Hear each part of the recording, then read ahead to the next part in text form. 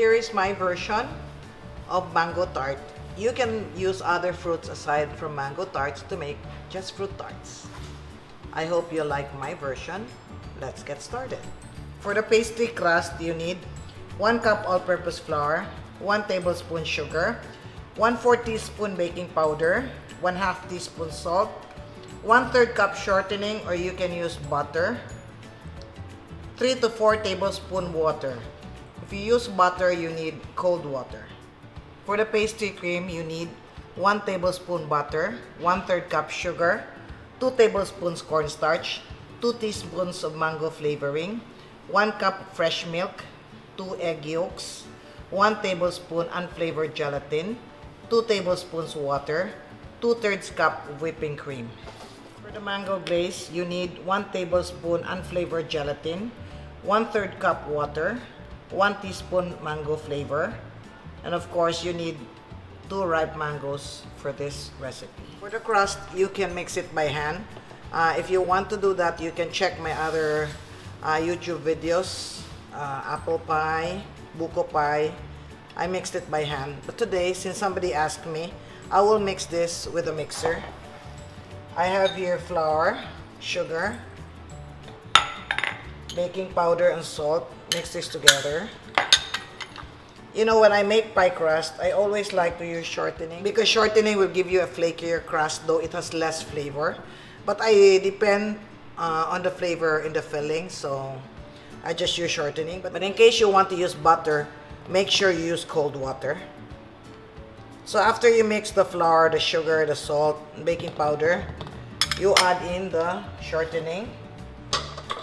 Actually, it's very fast using a mixer. It keeps your hands clean. You mix until the shortening is coated with the flour. If you're doing this by hand, you just rub the shortening between the palm of your hands on the flour. If you use a mixer, it will look like pulburon. See? It will look like a pulburon mixture. And then, we add water. If you're using butter, please use cold water. Add but, uh, water gradually. We only need enough water to bind. Okay, see? You check this by hand. I'll finish the, mixing this by hand because I don't want to overmix.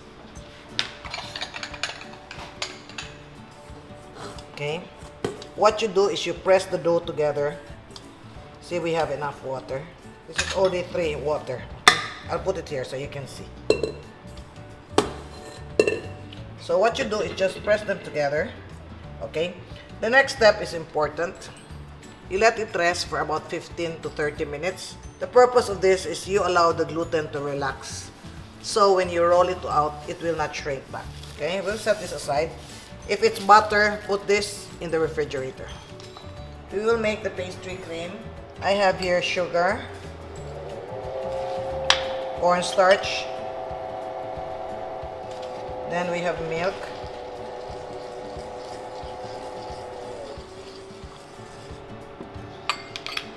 Then I have egg yolks. Normally I temper the egg yolks, but this is a very small amount. So I'll just add this directly. I haven't put on the heat yet. I'm trying to mix this. And then we have butter. You can add this last, but I might forget, so I'll add it now. Over here, you have gelatin and water. You sprinkle the gelatin over the water. Always sprinkle the gelatin so that it's gradually absorbed by the water and then you don't get a lot of lumps. Alright? Okay. And then the flavoring, we add it here. This is uh, ma mango flavor and color. Okay, let's put the heat on. Alright? Until the mixture is thickened.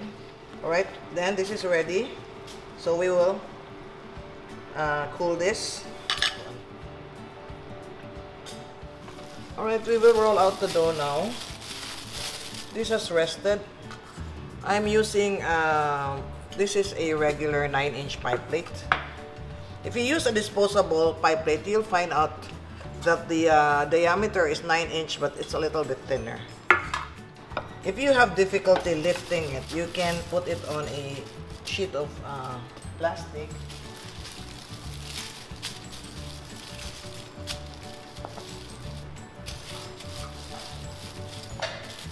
By the way, if you roll and it falls apart, sometimes you just need to add a little bit more water, okay? You try to form this into a circle one inch bigger than your pie plate.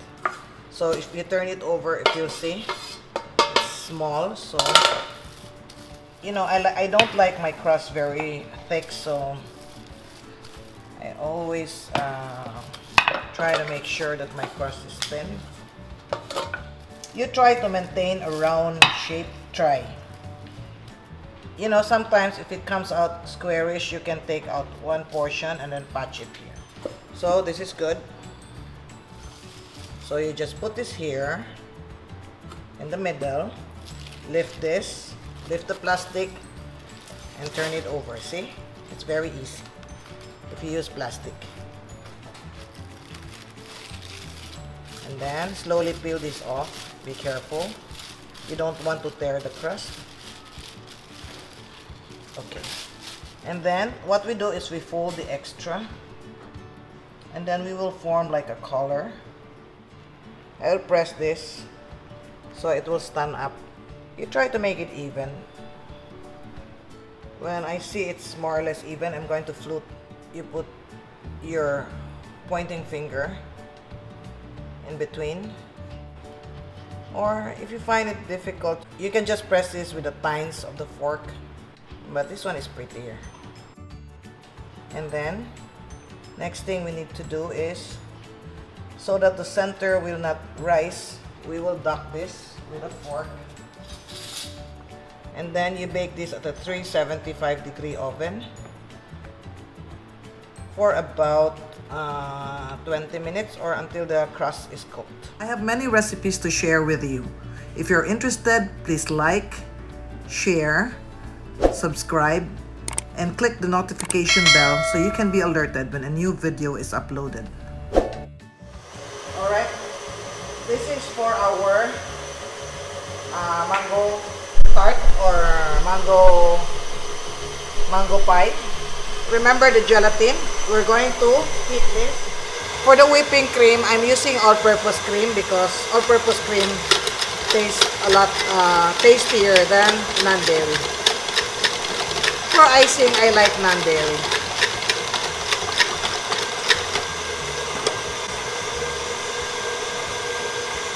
Alright, so here, once it's whipped, remember the uh, ma mango pastry cream that we made?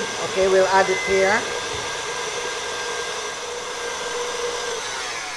Okay, let me scrape the sides. Let's make sure that everything is well blended in. Alright. Then, we will add in our gelatin. You have to work fast because this is cold. If you don't work fast, you will have difficulty transferring this into the pie plate. Alright, so here, give this a quick stir and then let's pour this in